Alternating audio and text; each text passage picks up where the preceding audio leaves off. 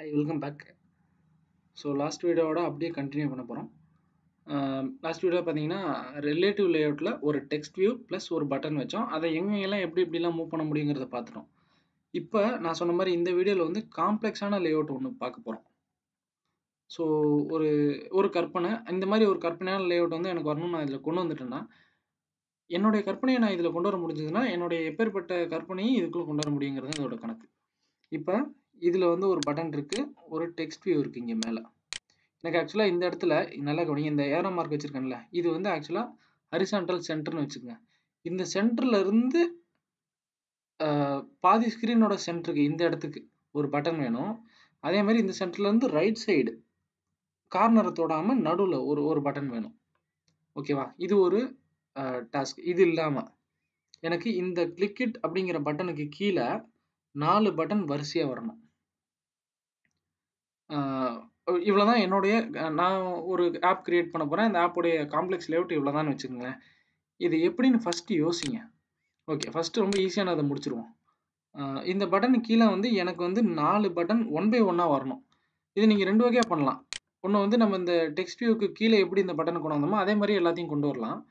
இல்லை இன்னொன்று சிம்பிளாக பண்ணணும்னு வச்சுங்க வச்சுக்கங்களேன். யோசிச்சு பாருங்க. இது வந்து ஒரு பட்டன் இந்த பட்டனுக்கு கீழே வந்து எனக்கு நாலு பட்டன் வரணும் வரப்போகுது. நாலு பட்டன் ஒன் பை ஒன்றுனா நம்ம மைண்டுக்கு வர வேண்டியது linear layout vertical orientation simple இப்போ இது கீழே ஒரு லீனியர் லேஅவுட் போட போகிறோம் இந்த பட்டன் கிளிக்கிட்டுக்கு கீழே. லீனியர் லேஅவுட் வித் வந்து மேட்ச் பேரண்ட் சை சைஸ் ஃபுல்லாக ஆக்குபை பண்ணி ஹைட் வந்து ரேப் கண்டென்ட் கொடுத்துருவோம். இப்போ இந்த லீனியர் லேஅவுட்டுக்கு ஒரு ஐடி கிரியேட் பண்ணிக்கலாம். தப்பு இல்லை. ஐடி.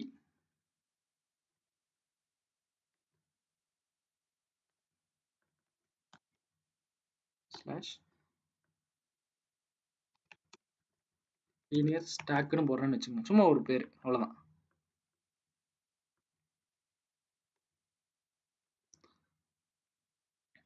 சம்டைம்ஸ் இந்த கிரேடில் கரெக்டாக சிங்க்ரனைஸ் ஆகாதனால கூட இந்த மாதிரி எரர் வரும். இதில் பார்த்தீங்கன்னா நோ ஓரியன்டேஷன் ஸ்பெசிஃபைடுன்னு சொல்கிறாங்க அதாவது என்னென்னா ஹரிசான்டில் வெட்டிக்கலாம் நம்ம என்ன சொல்லல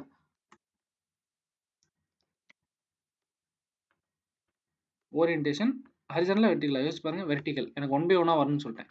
இப்போ நான் பட்டன் வைக்க போகிற இடத்துக்கு இந்த லீனியர் லேஅவுட் தான் பேரண்ட் ஸோ இந்த லீனியர் லேஅவுட்டுக்குள்ளே தான் நம்ம நாலு பட்டன் வைக்க போகிறேன் ஸோ வித் வந்து மேட்ச் பேரண்ட் கொடுத்தேன் ஸோ பிரச்சனை இல்லை. பட்டன் இதோடைய பட்டனோட வித்து மேட்ச் பேரண்ட் ஏன்னா எனக்கு சைஸ் ஃபுல்லாக வரணும்.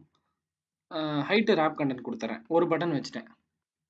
ஒன்றுமே இல்லை. இப்போ வந்து அப்படியே நான் நாலு பட்டன் பேஸ்ட் பண்ணுறேன் அவ்வளோதான் நாலு பட்டனில் நாற்பது பட்டன் கொடுத்தாலும் ஒன் பை ஒன் கீழே அடிக்கிட்டே போயிடும் வந்துருச்சா? இப்போ இப்போ அந்த லீனியர் லேஅவுட்டில் நாலு பட்டன் வந்துருச்சு. ஆனால் நம்ம எதை மறந்துட்டோம்னா இந்த பட்டன் கீழே அந்த லேஅவுட் வரணுங்கிறத சொல்கிறத மறந்துட்டோம். நல்லா கவனிங்க. ஹண்ட்ரட் கோலன் அப்படியே யூஸ் பண்ணதான். Layout underscore below ID அந்த பட்டனோடைய ஐடி என்னன்னு பாருங்க. டெக்ஸ்ட் சேஞ்சர் பட்டன் இதான் அந்த பட்டன் இப்போ பாருங்கள் நம்ம டிசைன் கிளிக் பண்ணோன்னு நவரும் பாருங்க.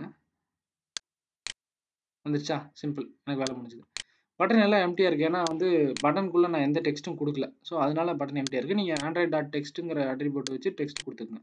எனக்கு இது முடிஞ்சது. அடுத்தது. இப்போ நான் சொன்னதான் இப்போ இங்கே இருந்து ஒரு அஞ்சு டிபின்னு வச்சுங்க டிபினா device independent pixel DIP or டிபின்னு சொல்லுவாங்க.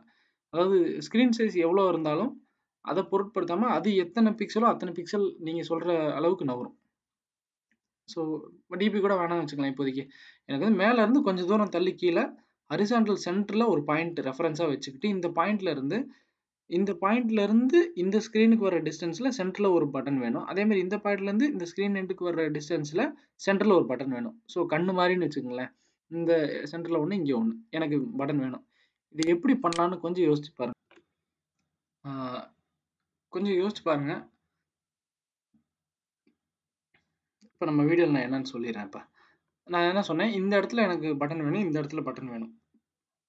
இது ரிலேட்டிவ் லேஅவுட் தான் நம்ம எங்கே நினைக்கிறோமோ கொண்டு வந்து வைக்கலாம். பட் டைரெக்டாக வைக்க முடியாது. எக்ஸ் ஒய் பாயிண்ட்டுங்கிறத வச்சு வைக்க முடியாது. இங்கேருந்து இந்த எக்ஸ் பாயிண்ட்டில் இந்த ஒய் பாயிண்ட்டில் வெயின்லாம் சொல்ல முடியாது. ஏன்னா ஸ்க்ரீன் சைஸ் வேரிஸ் இப்போ என்ன பண்ணணும்? ஃபஸ்ட்டு வந்து எனக்கு வந்து இந்த சென்டர் பாயிண்ட்டில் ஒரு ரெஃபரன்ஸ் வேணும். அதுக்கு நான் என்ன பண்ணுறேன் இது கீழேயும் எழுதலாம் மேலே எழுதலாம் எங்கே எழுது நான் தான் அப்ளை சொன்னேன். எங்கே எழுதினாலும் அட்ரிபியூட்டை வச்சு தான் வேல்யூ வரும்.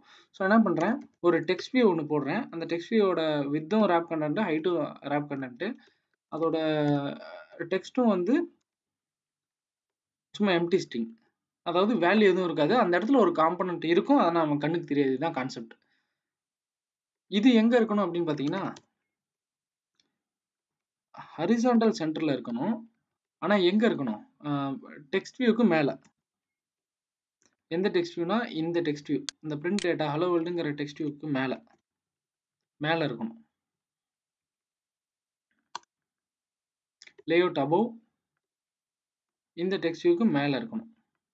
நான் இதை ஷேட் பண்ண வாக்கிலேயே நான் அதை ஓப்பன் பண்ணுறேன் உங்களுக்கு ஷேட் ஆயிருக்கான்னு பாருங்கள் இந்த இடத்துல ஒரு டெக்ஸ்ட் வியூ இருக்குது இந்த தெரியுதுங்களா? இந்த ஹலோ ஹலோ வேர்ல்டுக்கு மேலே ஒரு டெக்ஸ்ட் வியூ இருக்குது அதில் டெக்ஸ்ட் இல்லை அதனால எம்டியாக இருக்கு. ஓகே இப்போ இது ஒரு ரெஃபரன்ஸ் தான். இப்போ எனக்கு ரெண்டு பட்டன் வேணும். எங்கே இருந்துன்னு பார்த்தீங்கன்னா இங்கேருந்து லெஃப்ட் சைடில் ஒரு பட்டன் இங்கேருந்து ரைட் சைடில் ஒரு பட்டன் இப்போ யோசிச்சு பாருங்கள் எனக்கு வந்து கரெக்டாக இந்த டெக்ஸ்ட் வியூவில் இருந்து அதாவது இந்த டெக்ஸ்ட் வியூவில் இருந்து இந்த பாயிண்ட் இந்த டெக்ஸ்ட் வந்து அப்படியே மேலே வருதுன்னு வச்சுக்கோங்க. இங்கேருந்து இந்த ஸ்க்ரீன் எண்டு சைஸில் இருக்க டிஸ்டன்ஸில் சென்டரில் ஒரு இது வேணும். அப்போ சென்டர்லாலே என்ன பண்ணுவோம் ஆக்சுவலாக இன்னொரு லீனியர் லே அவுட் இதுலேருந்து இங்கே இந்த சென்டருக்கு வரணும். அப்போ இன்னொரு லீனியர் லேஅவுட் சிம்பிள் இங்கே ஒரு லீனியர் சாரி லீனியர் லேஅவுட்டில் ரிலேட்டிவ் லேஅவுட் இந்த சைடு ஒரு relative layout as well as இங்கே ஒரு ரிலேட்டிவ் லேஅவுட் ஸோ இப்போ பார்த்தீங்கன்னா ஒரு பேரண்ட் லேஅவுட்டுக்குள்ளே ஒரு சைல்டு லேஅவுட் சைல்டுக்குள்ளே சைல்டு சைல்டுக்குள்ளே சைல்டு இது எல்லாமே ஹைரார்கிக்கலாக வந்துக்கிட்டே இருக்கும். நமக்கு என்ன மாதிரி டிசைன் வேணுமோ அந்த மாதிரி நம்ம உள்ளே அடுக்கிக்கிட்டே போயிட்டே இருக்கலாம். எந்த ரெஸ்ட்ரிக்ஷனும் கிடையாது. இப்போ நான் ஒரு ரிலேட்டிவ் லேஅவுட் போட போகிறேன் வித்து வந்து ரேப் கண்டென்ட்டு ஹைட்டும் ரேப் கண்டென்ட் தான். இதுக்கு ஒரு ஒரு ஐடி கொடுக்க போகிறேன் லெஃப்ட் பேன் அப்படின்னு சொல்லி.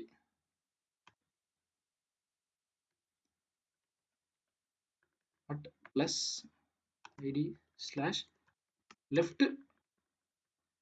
Plane left side இருக்க பிளேன் இது எங்க இருக்கணும்னு கரெக்டாக சொல்லணும்ல நம்ம? ஃபர்ஸ்ட் வந்து பேரண்ட் டாப்ல இருக்கணும். அதாவது எங்கன்னா இந்த இந்த இடத்துக்கும் மேல இருக்கணும். ஸோ நம்ம இந்த இடத்துல வச்சிருவோம். இங்க டாப்ல வச்சிருவோம். பேரண்ட் டாப் அது ரைட் லெஃப்ட்டுங்கிறது ரெண்டாவது பேரண்ட் டாப்ல வைக்கிறோம். அலைன் பேரண்ட் டாப் ட்ரூ டாப்ல வச்சாச்சு. அடுத்தது.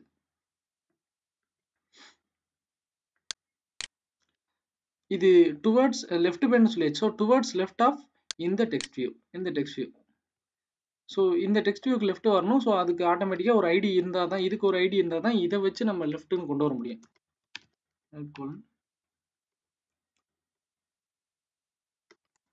சென்ட் சென்டர் ரெஃபரன்ஸ்னு ஒரு நேம் கொடுக்குறேன். இந்த சென்டரை ரெஃபரன்ஸாக வச்சுக்கிட்டு இந்த லேஅவுட் வந்து லெஃப்ட் சைடு போக போகுது. இதுதான் concept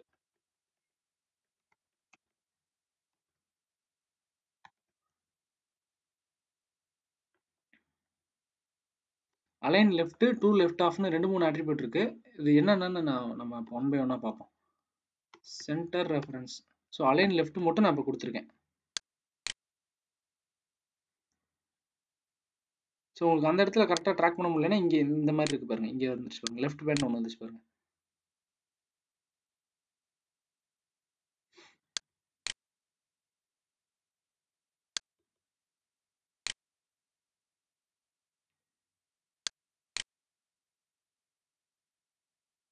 ஆக்சுவலாக இந்த அலைன் லெஃப்ட் அப்படின்னா என்னன்னு பார்த்தீங்கன்னா இந்த டெக்ஸ்ட் டெக்ஸ்ட் வியூவோடைய லெஃப்ட் எண்டும் இந்த ரிலேட்டிவ் லேஅவுட்டோட லெஃப்ட் எண்டும் ஒரே லைனில் நேர்கோட்டில் சந்திக்கும். இதுதான் கான்செப்ட் ஸோ நமக்கு வந்து இந்த அலைன் லெஃப்ட் இந்த இடத்துல தேவைப்படாது.